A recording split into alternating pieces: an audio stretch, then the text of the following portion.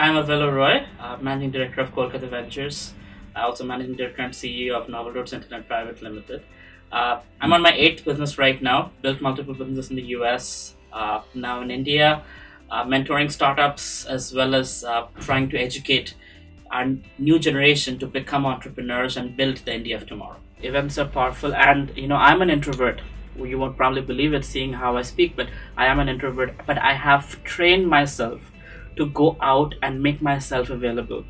I'll, I'll give you an example. So, long time ago when I was college student starting my startup, I was so shy, you know, networking events, couldn't talk to people. So what I would do is I would ask somebody I know and ask that person to make introductions. So through, through such an introduction, I met this guy named JB Pritzker. And, you know, uh, he was at the time 180th richest person in the world according to Forbes list. And he asked me, "So what do you do?" Thirty seconds, I gave my pitch. He said, "You know, most people are not prepared. You're prepared. I like that." Uh, and he was interested in investing in my company. Of course, we're looking for less than a million at the time, and he invests only above a million. Didn't work out, but the relationship continued. Now he's a governor of Illinois, and he's going to run against Trump in the next election, most probably. Uh, so I'm potentially going to know the next president of the United States because of some networking event. So you never know who you're going to meet and how those relationships are going to fructify. You can be meeting your next investor, your co-founder, your teammates, recruiting the right talent.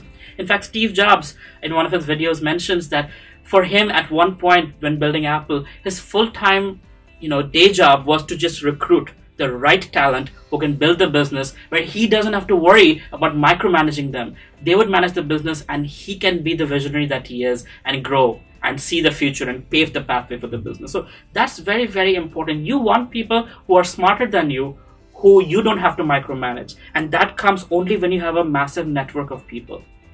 I don't like to hire from Naukri.com. The reason why is because I like to hire people who are working with my competitors.